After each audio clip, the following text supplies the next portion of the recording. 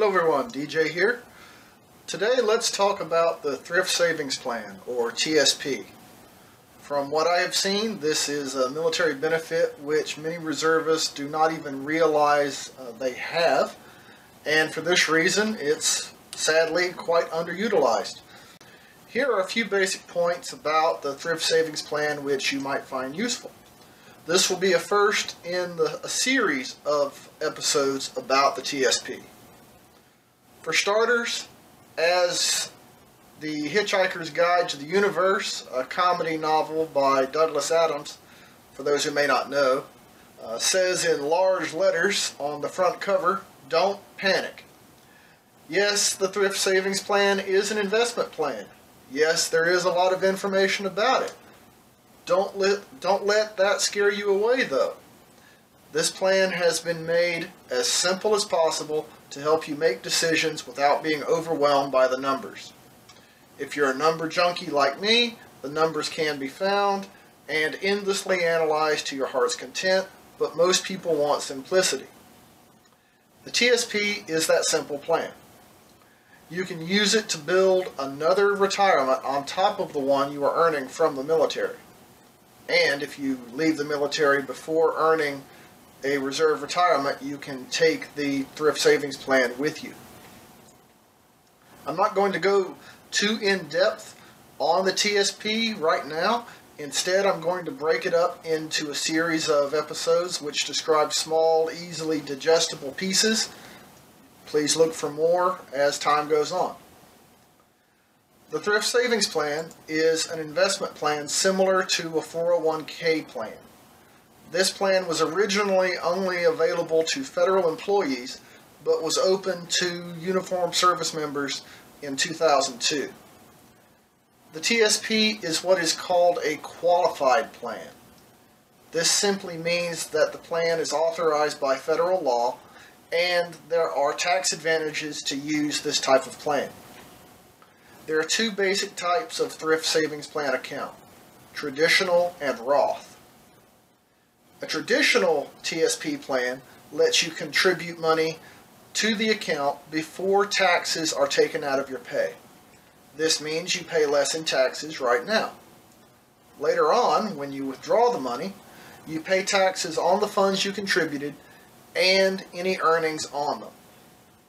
In contrast, a Roth TSP plan lets you contribute money on an after-tax basis. This that means there is no immediate tax advantage, but you pay no taxes on the contributions and on the earnings from those contributions when you withdraw them upon retirement. That's a pretty hefty tax savings if you're a number junkie like me and actually run the numbers. The minimum age at which you can withdraw your money without a penalty is age 59 and a half. If you remove your money prior to that age, you'll pay taxes and a stiff penalty on some or all of the amount you withdraw. You can start to contribute to the Thrift Savings Plan by making an election on the MyPay website, and I'll put a link down below if by some strange chance you don't have the link to MyPay. For those who might be family members and don't know what the MyPay website is, it is simply an online pay management tool that service members can use. And again, I'll put a link down below. After you've set up contributions through MyPay, you can manage those contributions and how the money is dispersed amongst the various funds by using the TSP website. And I'll also put a link to that down below as well. You can contribute up to $18,000 per year to the TSP. That will be different based on your particular uh, situation, but for most people, 18,000 is the limit. That's not per uh, traditional or Roth plan though, keep that in mind. That's the total of both. Let me do a little bit of myth busting here. Several reservists who have spoken to me and said that their full-time staff are telling them that they cannot participate in the TSP because they are not on active duty. They're being told this is an active duty only benefit.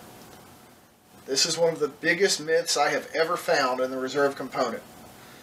There are others similar to it, you know, for other benefits, but this is one of the big ones.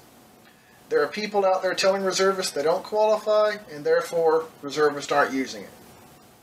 Some of the other areas where you'll hear a similar uh, misguided bit of advice from full timers would concern educational benefits and the GI Bill. That's the same thing, but GI benefits, TRICARE, anything of that nature. None of these, let's call them what they are, myths are true. While benefits may be slightly different for reservists versus active duty, they are virtually the same across the board. The TSP is one of those which is the same. You can participate in it if you choose. Whether or not you're active duty does not matter. Believe it or not, that's it. This will be a shorter episode this week. I'll explain other aspects of the TSP in future episodes.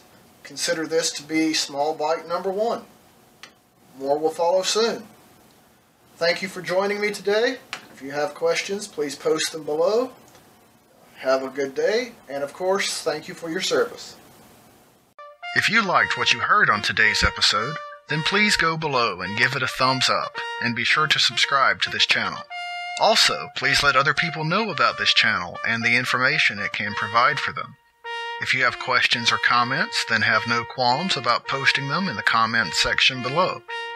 Please remember the RC Retirement YouTube channel and the RC Retirement website are not recognized or endorsed by the Department of Defense, the Department of Veterans Affairs, or any other government agency. The information presented in these resources are for entertainment and informational purposes only. Also, the content of either of these resources should not be considered financial or legal advice. Please consult with your own legal counsel accountant, and financial planner before making any decisions based on what you have learned here. As always, thank you for watching the RC Retirement YouTube channel.